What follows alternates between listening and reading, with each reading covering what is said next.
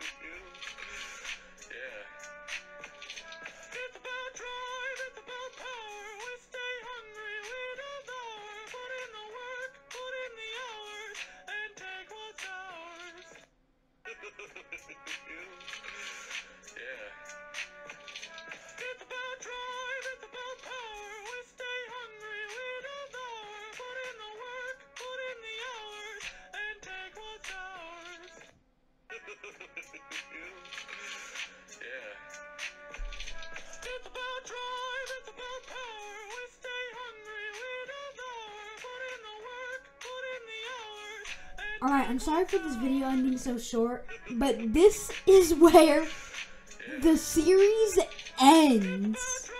Yeah, the series ends.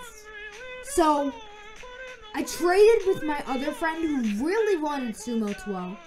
It was super hard to find offers, but I put it in chat. He was in my game and he offered. So, I obviously, being a normal person, took this offer, and now I have OAA. And that concludes it. I'll, um, I'll see you guys, I guess. Uh, get ready for an OAA video. Bye!